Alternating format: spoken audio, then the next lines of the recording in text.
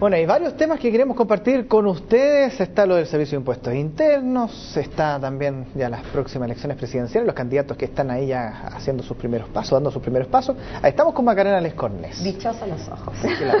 Volvió marzo, volvieron los tacos, pero también volvieron los invitados de siempre. Bienvenida Macarena, ¿cómo estás? Hola, ¿qué tal? Muy buenos días. Muy bien, la verdad que aquí empezando una nueva semana y un nuevo año político, como dicen en algunos países, los que no les calza el año político el año calendario, dicen, empezamos el año político. Y la verdad que se nota, se nota la llegada de los y se notan los inicios de las reuniones importantes. Por ejemplo, hoy día tenemos comité político en la moneda y precisamente en ese comité político es el que se va a tratar uno de los temas que ha estado marcando la agenda durante el verano, que ha sido lo que muchos conocen como el caso Pereira o el caso impuestos internos.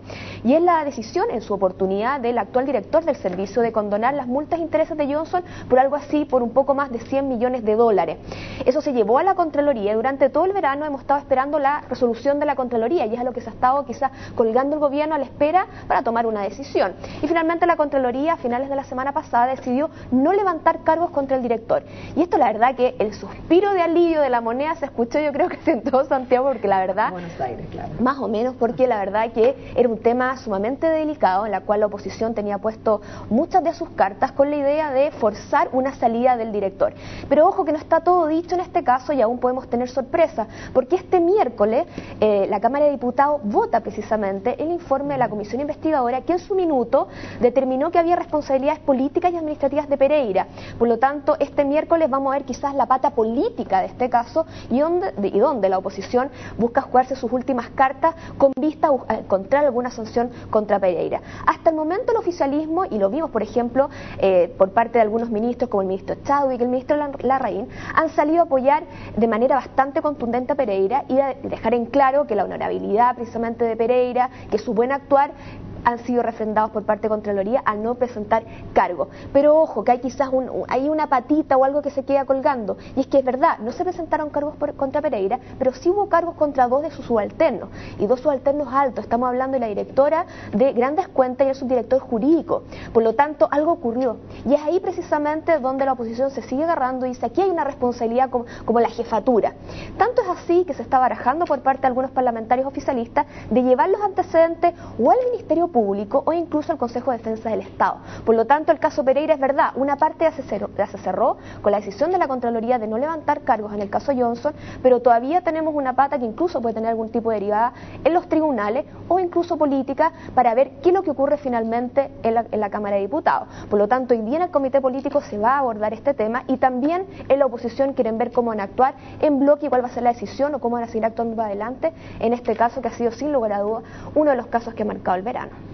política también van a hablar en libertad y desarrollo, los comandos de la alianza, ¿no? Sí, la verdad que libertad y desarrollo va a ser algo así como la tierra de nadie, donde van a ir a dejar las espadas sobre la mesa, como los caballeros medievales más o menos, y a ver si vemos humo blanco. Humo blanco vamos a ver en muchas partes, vamos, vamos, a ver también en otras partes, pero vamos a ver si vemos finalmente humo blanco en este caso en los comandos, porque como bien tú dices, Paolo, hoy día se juntan a las 11 de la mañana en libertad y desarrollo los comandos de eh, Goldberg y Alaman, con la idea en un principio ¿para qué está acordada esta reunión? Una reunión que, dicho sea de paso, está agendada para la semana pasada, pero a raíz de la muerte de Adolfo Saldívar mm. se tuvo que aplazar.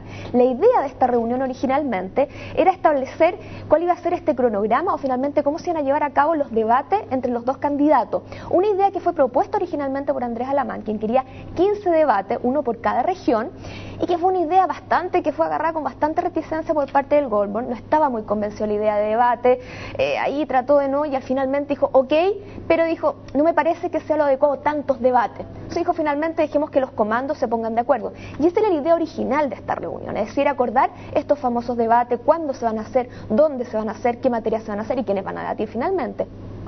Pero esta reunión ahora, a raíz de lo que ocurrió la última semana, también ha cobrado otro color.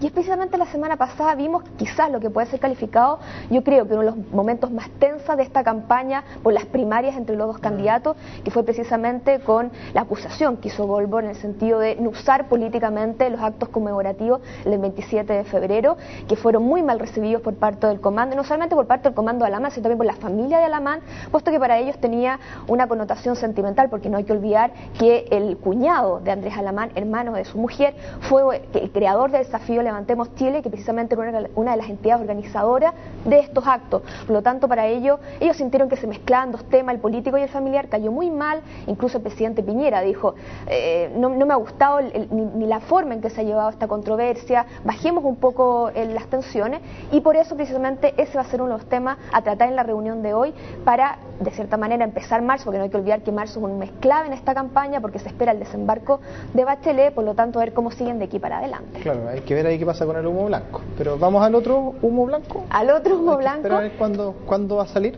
Así es, el otro humo blanco y quizás el, humo blanco, porque es, hablamos de humo blanco, la fumata blanca precisamente, es la que estamos esperando todos por parte del Vaticano, porque hoy día, hoy día es cuando empiezan las congregaciones generales, que dirá, bueno, ¿y qué es eso? Bueno, son las reuniones previas al cónclave, en las cuales se empiezan a reunir todos los cardenales para empezar a debatir no solamente temas administrativos tan simples como decir dónde voy a alojar, cuántos días me voy a quedar, que lo empiezan a debatir hoy día, por ejemplo, sino también para empezar a debatir el estado de la iglesia. Y así como se espera que a partir de hoy, por ejemplo, temas tan controvertidos como los Batilix, como se llamó ese caso en el cual se filtraron documentos de por parte del mayordomo del Vaticano a la opinión pública, se espera que hoy se empiecen a debatir de cara a lo que va a ser el cónclave.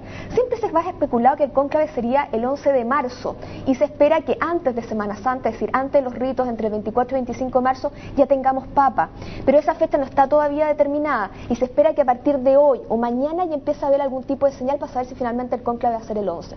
Lo que sí es cierto que ya a partir de hoy se empiezan a juntar los cardenales, ya han llegado algo así de 65, tienen que llegar más todavía, por lo tanto, están a la espera de que se empiecen a llegar todos los que tienen que elegir al Papa, que son algo así 115 y 116 los que van a tener, de cierta manera se puede decir, derecho a voto, ¿no? En el famoso conclave para elegir al próximo Papa. Pero entre tanto, ya empiezan a surgir algunas especulaciones. Y es interesante, por ejemplo, lo que postula hoy día la estampa, el diario italiano, que dice que una de, de las fórmulas que se estaría barajando es lo que ya se ha llamado el ticket. Él dice que lo que es el ticket, que lo escuchamos mucho en las candidaturas norteamericanas a la presidencia. Y es este ticket de un presidente y un vicepresidente muchas veces sean de dos sensibilidades distintas. Bueno, se está también barajando en el Vaticano, donde se hace alta política. ¿Con cuál idea?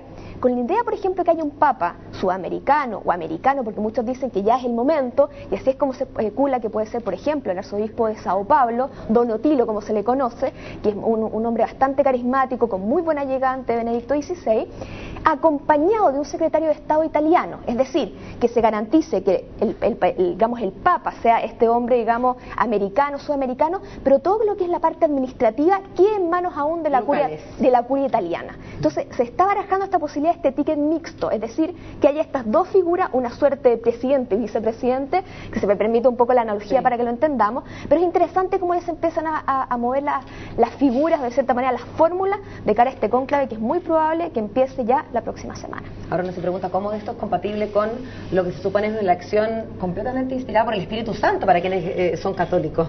¿Cómo se compatibilizan esas dos, esas dos eh, visiones? Uno de los grandes misterios también, pero la verdad que vamos a ver de, los mejores lobbies quizás que se despliegan en alta política, la vamos a ver en esta semana, a ver qué ocurre en Roma, en el Vaticano, hasta que se cierre la llave y empiecen a elegir al nuevo Papa. Empiece el con clave. Que estés bien, Chao, Macayo. Chao, hasta la próxima.